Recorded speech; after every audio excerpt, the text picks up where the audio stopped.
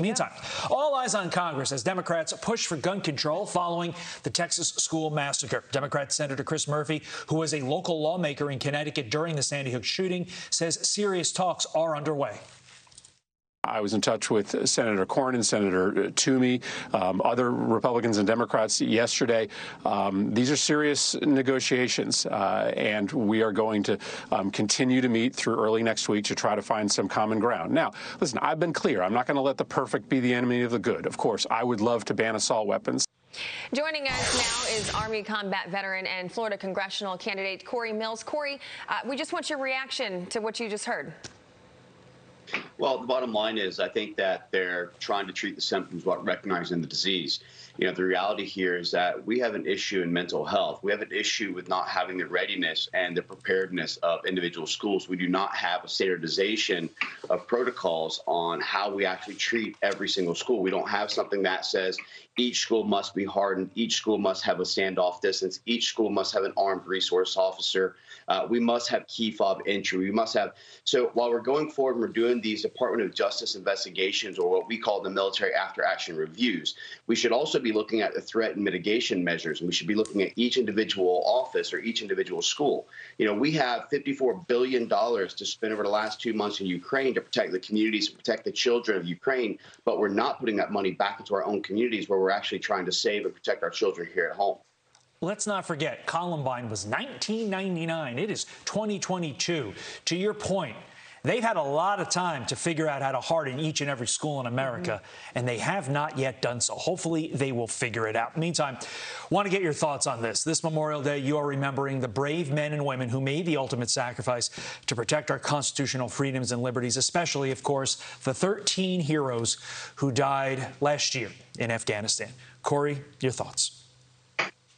Well, Todd, as you know, I was actually uh, part of a team that conducted the very first successful rescue of a mother and three children out of Afghanistan. And we were actually on the landing for HKIA on August 26, whenever these 13 brave heroes gave their lives.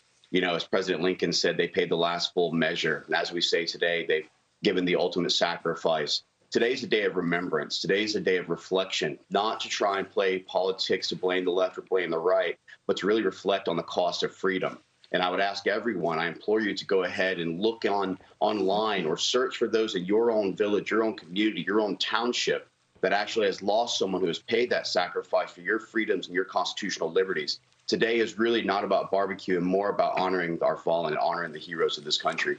Uh, I want to take one special moment. I want to recognize uh, congressional candidate uh, Joe Kent's wife, Shannon, who is a Navy combat veteran who gave her life in Syria.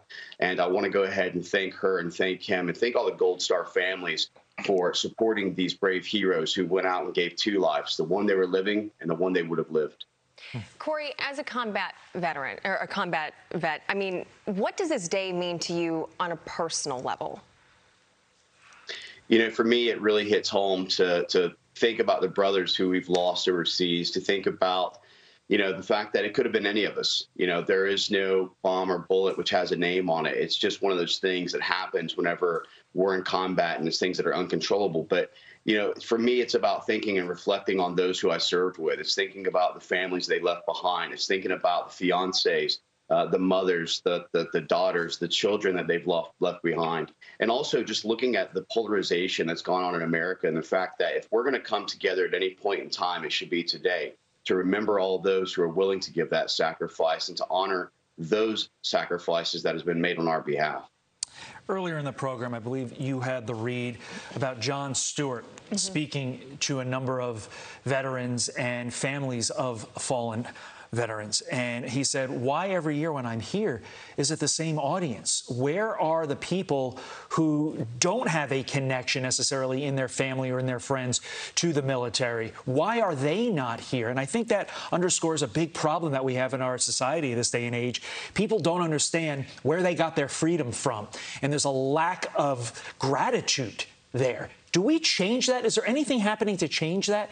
Because I feel like that's fundamental to understanding what America is all about.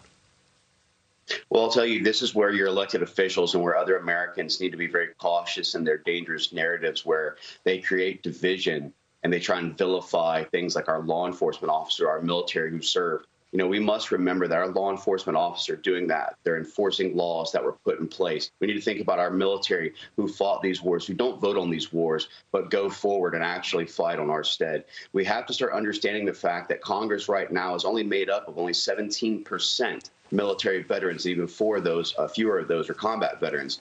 You know, this is really about trying to bring the nation together and understanding what it costs to keep us free. This is really about understanding the great land and the fact that we live in the greatest, freest nation on earth, so long as we can keep it. As they say, we're always one generation away from being able to lose this. And that's something that President uh, Reagan has said multiple times. But we have to bring ourselves together to at least, at minimum, honor the brave men and women who have been willing to give their lives in uniform for our freedoms, for our nation, for our freedoms of speech, and for our rights. Okay. And as you, we play these videos of people laying flowers and visiting the graves, hopefully this is something, it's not, it shouldn't be just today. This right. should be an everyday situation, an everyday sight. So we thank you for everything you have done and obviously everyone who gave the ultimate sacrifice for us to, to be free and to have this day. So Cory, thank you so much for being with us this morning. We appreciate it. Thank you so much.